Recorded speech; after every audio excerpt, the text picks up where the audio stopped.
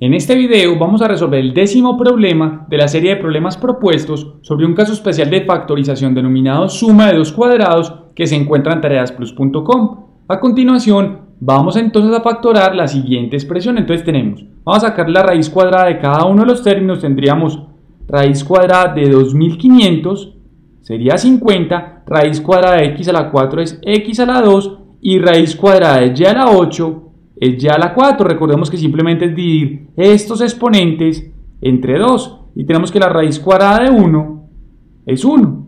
Ahora, recordemos también que esta expresión la podemos convertir en un trinomio cuadrado perfecto adicionándole y restándole el doble producto de estas raíces. Entonces tendríamos, más el doble producto sería 2 por 50x a la 2, y a la 4 por 1 si efectuamos esta operación nos daría 2 por 50 por 1, daría 100, x a la 2, y a la 4, y ahora entonces vamos a formar el trinomio cuadrado perfecto. Entonces tendríamos 2500, x a la 4, y a la 8, más 1, más este término, el doble producto, 100, 100, x a la 2, y a la 4 y recordemos que para no alterar esta expresión, como estamos sumando este término, también se lo tenemos que restar. Entonces, menos 100x a la 2 y a la 4. Ahora vamos a agrupar los términos de nuestro trinomio cuadrado perfecto. Vamos a hacerlo en orden descendente con respecto a la x y a la y. Entonces tendríamos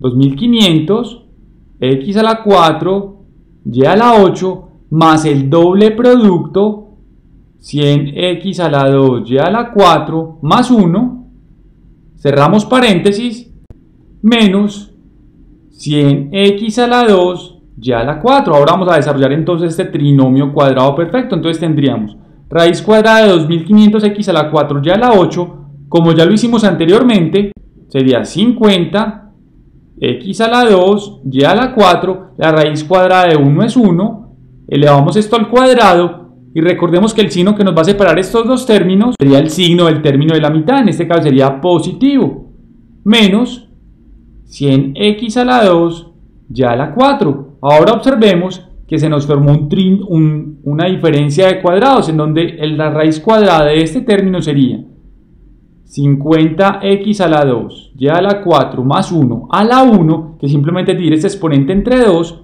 y la raíz cuadrada de 100x a la 2 y a la 4 sería raíz cuadrada de 100 es 10, raíz cuadrada de x a la 2 es x a la 1 y raíz cuadrada de y a la 4 es y a la 2. Recordemos que simplemente es dividir estos exponentes entre 2. Y para desarrollar la diferencia de cuadrados, vamos entonces a multiplicar la suma de estas raíces por la diferencia. Entonces tendríamos lo siguiente.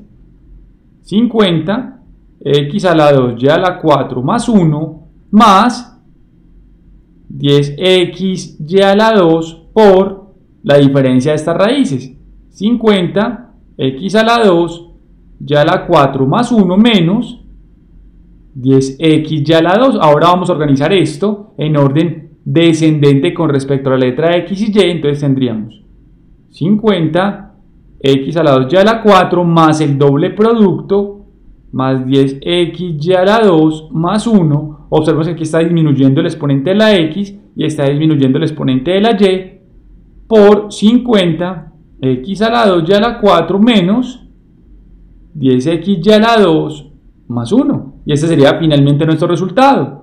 Los invito a continuación a nuestro siguiente video donde vamos a resolver más ejemplos sobre el caso especial de factorización denominado suma de dos cuadrados.